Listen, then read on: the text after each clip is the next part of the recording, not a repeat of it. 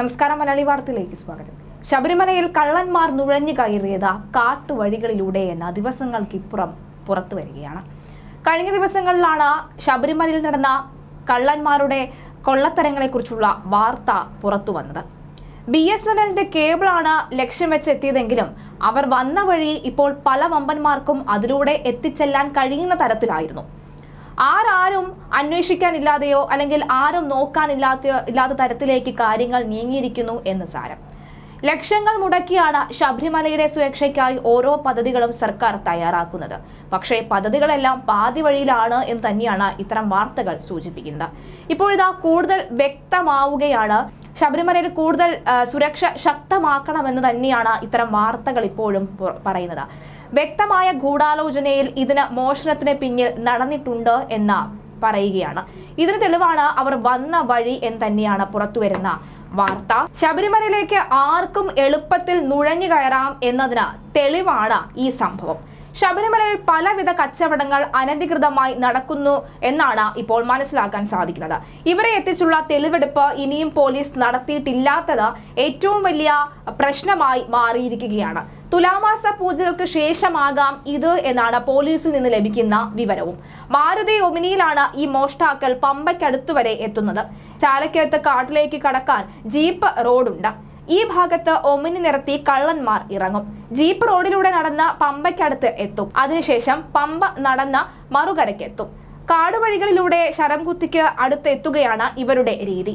ചാലക്കയത്ത് കള്ളന്മാരെ ഇറക്കിയ ശേഷം മാരുതി ഓമിനി പമ്പയിലെത്തും. പമ്പയിലുള്ള പോലീസുകാർ ചോദിച്ചാൽ പണിക്കാരുമായി എത്തിയതാണ് എന്ന് പറയും. മോഷണം നടത്തി മുതലുമായി കള്ളന്മാർ കാടുവഴികളിലൂടെ ചാലകയത്ത് എത്തും. ഈ സമയം മാരുതിയും അവിടെ എത്തി കള്ളന്മാരുമായി പൂങ്കാവനത്തിന് പുറത്ത് കടക്കും. കാടുവഴികളിലൂടെ ചാലക്കയത്ത് നിന്ന് കള്ളന്മാർ നടന്നെത്തുന്നത് ശരംകുത്തി ഹെലിപ്പാഡിന് അടുത്താണ് എന്നാണ് സൂചന. അതായത് ശബരിമലയിലേക്ക് എപ്പോൾ വേണമെങ്കിലും ആർക്കും സുരക്ഷയില്ലാതെ മറികടന്ന് അല്ലെങ്കിൽ സുരക്ഷയെല്ലാം മറികടന്ന് എത്താമെന്നതിന് ഏറ്റവും വലിയ തെളിവ് ഇനി എന്താണ് പോലീസിന് വേണ്ടത്? അതീവ സുരക്ഷ വേണ്ട സ്ഥലമാണ് ഇതെല്ലാം എന്ന് എല്ലാവർക്കും കൃത്യമായി അറിയാം.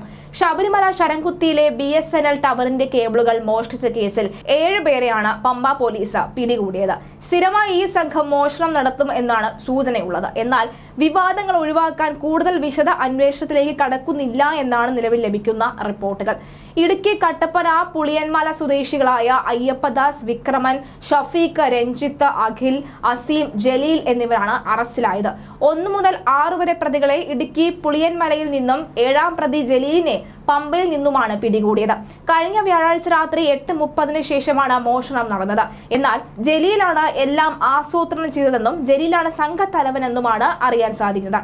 ഏറെ നാളായി നിയമവിരുദ്ധ കച്ചവടങ്ങളും പലതും ജലീല ശബരിമലയിൽ നടത്തുന്നുണ്ട് എന്ന വിവരവും പുറത്തു വരികയാണ്. എന്തായാലും വലിയൊരു തലത്തിലേക്ക് വലിയൊരു വീഴ്ച തന്നെയാണ് സുരക്ഷയുമായി ബന്ധപ്പെട്ട് ശബരിമല സുരക്ഷയുമായി ബന്ധപ്പെട്ട് നടക്കുന്നത് എന്നത് തെളിവുകൾ സഹിതമാണ് ഇപ്പോൾ പുറത്തു വന്നുകൊണ്ടിരിക്കുന്നത്. ഇതിന് കൃത്യമായ നടപടി സ്വീകരിച്ചില്ലെങ്കിൽ നാളെ ഈ ഏഴംഗ സംഘം എന്ന് പറയുന്നത് ഒരു പക്ഷേ അംഗങ്ങളുടെ നമ്പർ അല്ലെങ്കിൽ അംഗങ്ങളുടെ എണ്ണം വർദ്ധിച്ച് മറ്റു വലിയൊരു സംഘമായി മാറാനുള്ള സാധ്യതയും ഏറെയാണ്.